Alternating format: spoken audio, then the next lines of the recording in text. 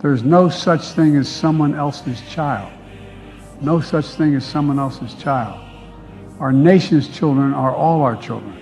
And you've heard me say it many times about our children, but it's true. They're all our children. It's wrong that extreme officials are pushing hateful bills targeting transgender children, terrifying families, and criminalizing doctors. These are our kids. These are our neighbors. It's cruel and it's callous. Not somebody else's kids, they're all our kids. They're the kids, that, our, and our children are the kite strings that hold our national ambitions aloft.